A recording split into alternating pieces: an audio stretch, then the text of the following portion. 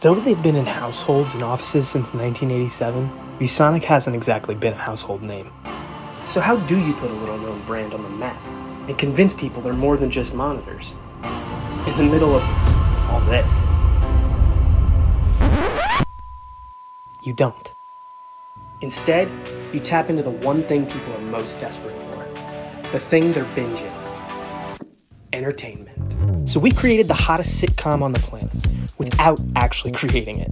We created all the fanfare around a massive global launch. Promos for the show running on premium Roku slots. Critics everywhere agree The Finchers is gut-bustingly funny. guys, this the crackling dragon. Reviews from the most trusted outlets. And an IMDb page. And who said global media takeovers take global media budgets? We just cut straight to the sharing by partnering with influencers to cameo in the show itself. We then digitally created the illusion of massive media buys, putting them in the spotlight and the Finchers on the radar.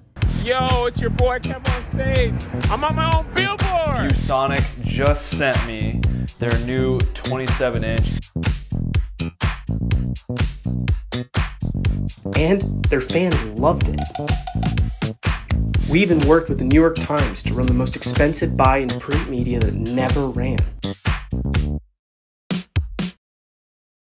The Finchers even found a home in the hottest section of the New York Times site. And on Esquire. We gave it a theme song, because what great sitcom doesn't have one of those? They're just one family, constantly asking why. They're one family and they're stuck inside We then sent the show's star on a press tour. I, it's getting crazy great reviews, 92% fresh on Rotten Tomatoes. They let us have a lot of fun. The people at ViewSonic have been awesome. that also never really happened. Which in turn turned into a real press tour. All of which drove people to our set. And yes, there was branded entertainment once you got there. Hi, we're having class here. Do you mind taking your bathrobe somewhere else, please? We're trying to have class. Oh, yeah. okay, you have fun. And yes, we put a commercial in a commercial. So products were directly integrated. What you saw over there with Tony was the ViewSonic touchscreen monitor thingy. I forgot it. But none of this was really about getting people to stream a show.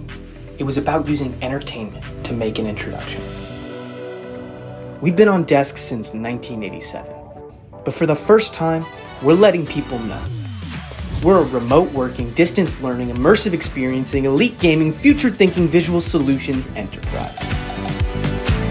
So while we didn't spend the $112 million it would have cost to actually make the next big hit, we did actually get the 130 million eyeballs it would have earned. And we think that's pretty entertaining.